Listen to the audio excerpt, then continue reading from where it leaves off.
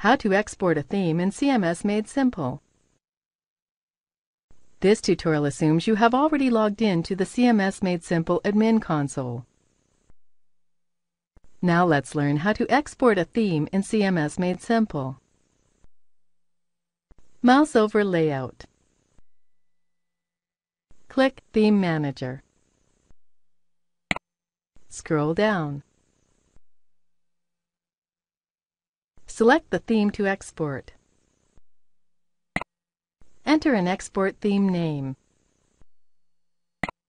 Once finished, click Export. Click Save. Once downloaded, click Close. You have successfully exported a theme. This is the end of the tutorial. You now know how to export a theme within CMS Made Simple. Thank you for watching our tutorial. Be sure to let us know if you have any questions.